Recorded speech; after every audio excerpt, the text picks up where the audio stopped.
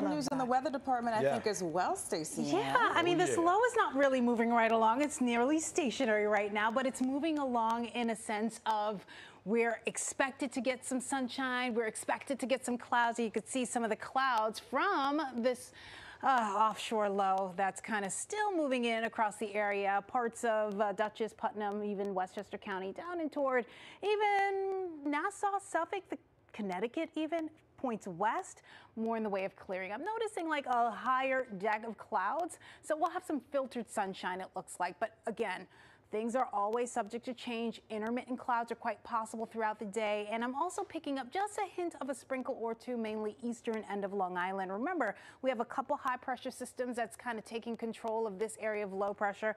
And what that means is that we'll stay mainly dry for today. So you're not going to need the galoshes or anything like that. You should be okay as it stands right now. Temperatures are in the 50s and 60s. We're nearing 70 degrees. It's a mild one for today. In fact, really warm summer-like weather. That's like the highlight of the day, in addition to the lack of rain and it being drier for you to be able to go out and enjoy some outdoor activities. So eastern end of Long Island, a hint of shower. I mean, most of us, again, will stay dry pretty much throughout most of the tri-state. That'll be the case with those breaks of sunshine this afternoon as we head into the afternoon hours. As you just noticed there, just at the Nassau-Suffolk border, there could be a sprinkle. You may not even feel it. And then a greater chance for showers tomorrow, especially across Suffolk County. But all in all, it's going to be a nice day. The same deal, rinse and repeat. Just some moisture being thrown back this way in addition to clouds parts of the area. Again, north and west of the city, especially more in the way of sunshine. Saturday offers up a little bit of an unsettled start, but then improves throughout the course of the day. And it looks like a great start to fall.